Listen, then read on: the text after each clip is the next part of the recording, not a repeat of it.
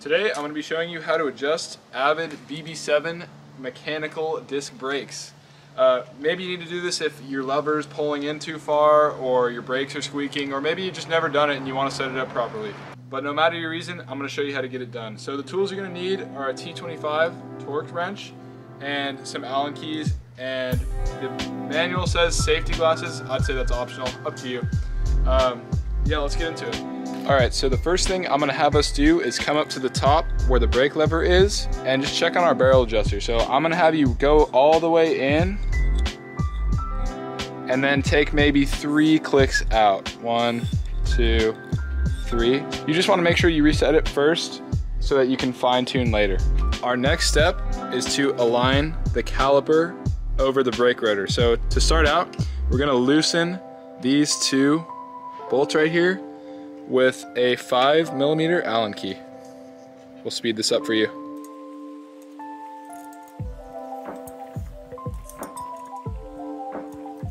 And that's good. They don't need to be all the way off, just loose. All right, now we're going to grab the T25. We are gonna tighten the inboard, so that's the one closest to the wheel on this side, in until it presses against the brake rotor. So there's a diagram, I'll try and include it when I edit this.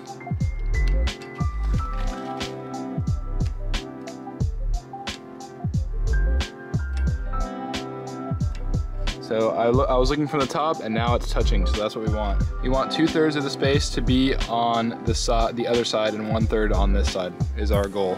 So now we come back over to the outboard side, which is the side uh, on the outside of the wheel.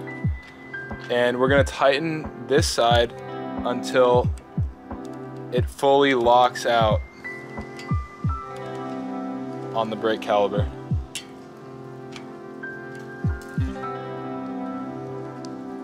Like this. So now the brakes are completely locked in place. Now we've got our caliper exactly where we want it. So we're gonna tighten these two bolts back down to lock it in place.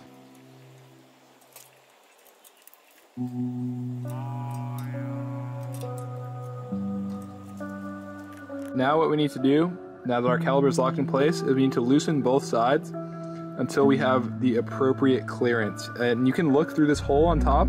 It's very hard to show you with the camera, but that's where you need to look and you need to adjust both of these sides out until they're just barely not touching. So a good way to test this is just adjust a little bit on either side and then spin the wheel, watch it, watch it to see if it seems like it's slowing down and listen if you hear any rubbing, you'll hear like er, er, er, if it's rubbing too much.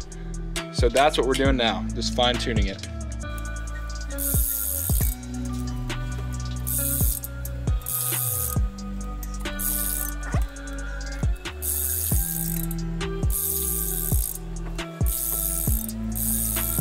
All right, our last step is to come back up to the lever and see how we did. So you can see mine, it's pretty tight. It's looking good and it's not rubbing in the back.